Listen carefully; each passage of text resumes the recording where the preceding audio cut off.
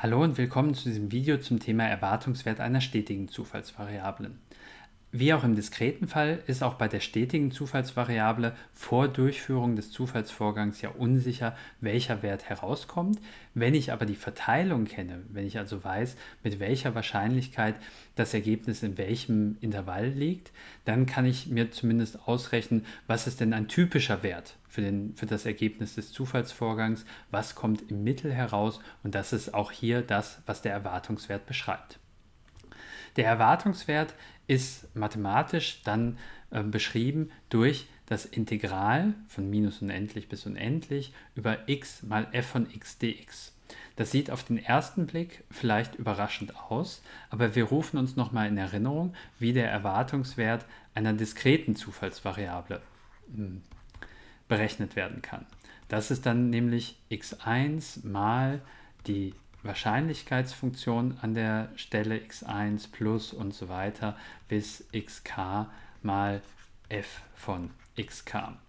Habe also eine gewichtete Summe von den möglichen Ausgängen x1 bis xk und die Gewichte sind die zugehörigen Wahrscheinlichkeiten, dass die Zufallsvariable diesen Wert xi annimmt.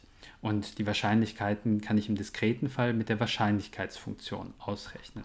Und das kann ich dann also auch schreiben als die Summe der xi mal f von xi. Und dann muss ich halt über die möglichen i gleich 1 bis k oder noch darüber hinaus hm, muss ich aufsummieren.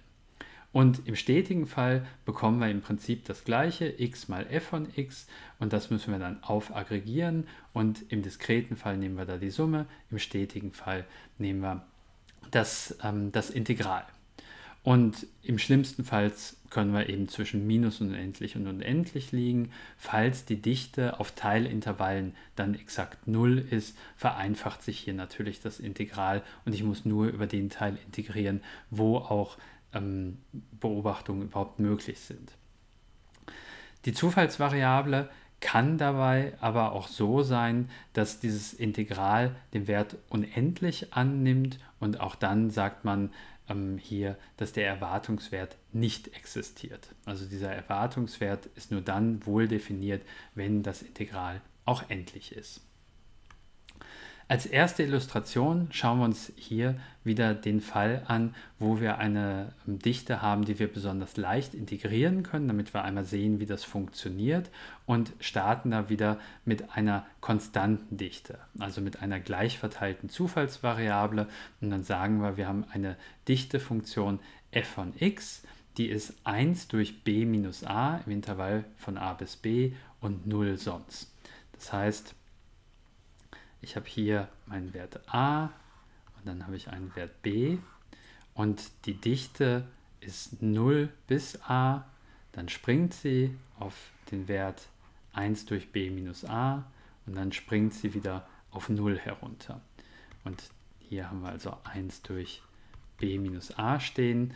Und damit haben wir die Fläche, Intervallbreite ist b minus a mal 1 durch b minus a haben wir eine Fläche von 1 unter unserer konstanten Dichte. Und das ist das, was wir ja bei einer Dichtefunktion haben wollen. 100% Wahrscheinlichkeit für das Intervall von a bis b.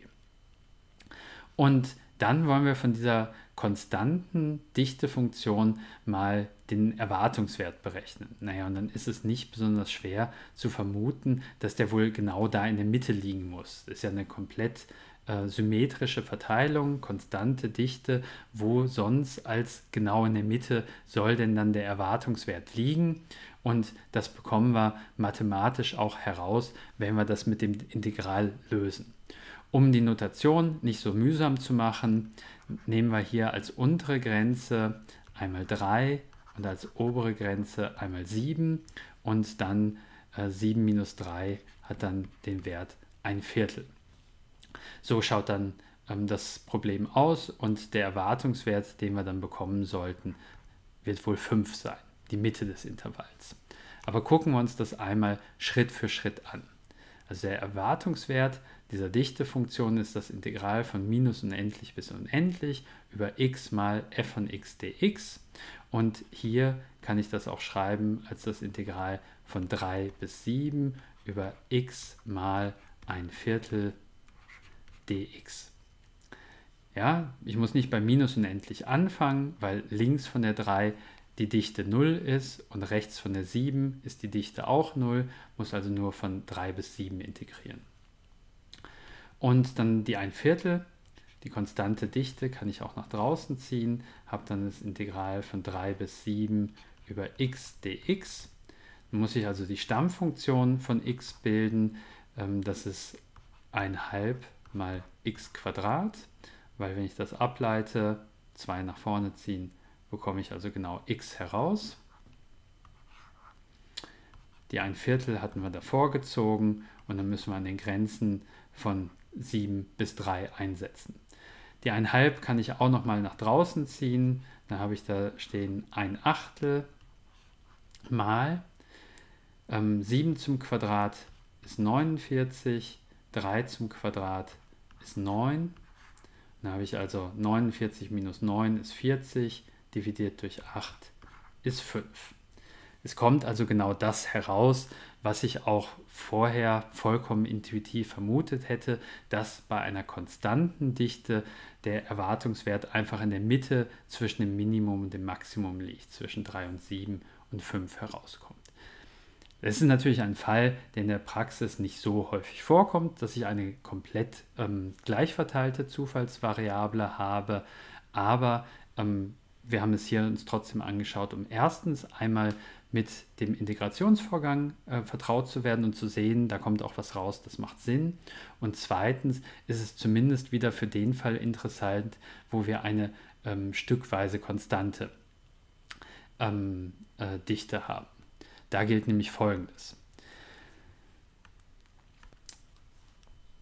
Wenn wir ähm, wieder uns anschauen, die Einführung eines neuen Produkts und ähm, vorher nicht wissen, wie hoch der Absatz ist und wir dann eine äh, stückweise konstante Dichtefunktion haben, ähm, wie wir das in einem früheren Video schon mal betrachtet haben, dann könnten wir sowas hier haben. Die Experten haben gemeint, zwischen 1000 und 2000 liegt der Absatz mit Wahrscheinlichkeit 20 Prozent. Das entsprach einer Dichte von 0,0002. Zwischen 2000 und 3000 liegt der Absatz mit einer Dichte von 0,0006 entsprach 60 Prozent und zwischen 1000, 3000 und 4000 wieder mit der Dichte von 0,0002. Und hier sollen wir dann wenn wir an diese Dichte glauben, einmal den erwarteten Absatz bestimmen. Müssen also auch hier wieder integrieren über stückweise konstante Werte. Und dabei gilt, dass bei einer stückweise konstanten Dichtefunktion der Erwartungswert einfach das gewichtete Mittel der Intervallmitten ist. Also in jedem Intervall ist der Erwartungswert in dem Intervall, die Intervallmitte und dann muss ich das noch mit den entsprechenden Wahrscheinlichkeiten gewichten und aufsummieren. Habe also hier mit 20% Wahrscheinlichkeit den Beitrag von den 1500, also 1500 mal 0,2, dann 2500 mal 0,6 plus 3500 mal 0,2. Und wenn ich das alles ausrechne, bekomme ich hier 2500 als erwarteten Absatz heraus. Auch das überrascht mich ähm, nicht besonders, weil ich auch hier die Verteilung genau symmetrisch gewesen ist, links genau wie rechts ausschaut und dann der Erwartungswert wieder genau in der Mitte liegt. Wäre das aber hier ähm, irgendwie asymmetrisch gewesen, hätte auch der Erwartungswert weiter links oder weiter rechts liegen können.